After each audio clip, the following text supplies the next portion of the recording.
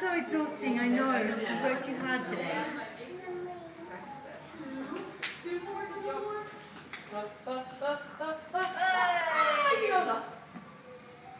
That's it.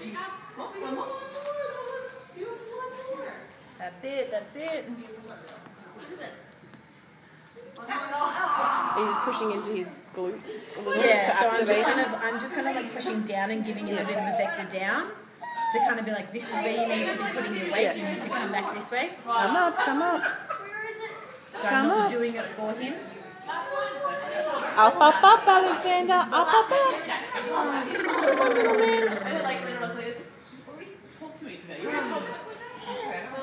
I know, I worked too hard. I know. I told him on the way home and I drove home again later. I was like, look, we talked today. It's like, I know, you did. Well. Okay, I know, I can feel your heartbeat and I can feel you.